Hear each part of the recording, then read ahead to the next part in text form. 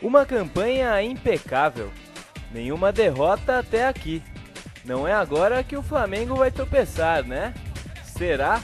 Se vacilar, já sabe. O Boa Vista não perdoa. Eu creio que contra o Boa Vista vai, não vai deixar de ser um grande jogo. Vai ser um, jogo bem complicado. O Boa Vista vai vir com bem fechadinho, vai vir com seu esquema tático arrumado e a gente tem que estar atento o tempo inteiro para não ser surpreendido.